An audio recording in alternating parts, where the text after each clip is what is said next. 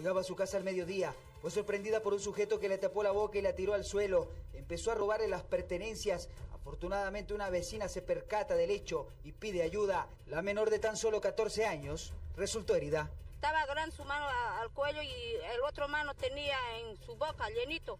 Y la chica ahí abajo, en su abajo estaba yo, a mí me ha visto y comenzó a levantarse, después volvió a alzar celular y su monedera, después corrió y yo grité auxilio a los... Um, ese boletín de copado estaban anotando y le llamé auxilio diciendo y ellos agarraron ahí.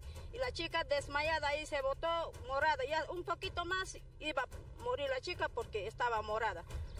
Eso le he visto y allá corrimos, le hemos agarrado en ahí. Los vecinos reclaman porque quieren dejar en libertad a este antisocial. La fiscal habría argumentado que no existen pruebas suficientes de lo sucedido. El barrio está indignado y asegura que van a linchar a los antisociales que aparezcan por la zona. Eh, todas las noches ya, miren, ya no respetan días hábiles, inhábiles, de día, de noche, delante de los vecinos. Ya es el colmo de la inseguridad en nuestros barrios. ¿Cómo es posible que quieran soltar a una persona cuando las pruebas están, los indicios están, las imágenes han sido claros de que este, este sujeto lo ha, ha intentado matarla, quería matarla, quería estrangularla?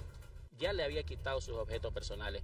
Sin embargo, él insistía en, quitarle la vida a, la niña.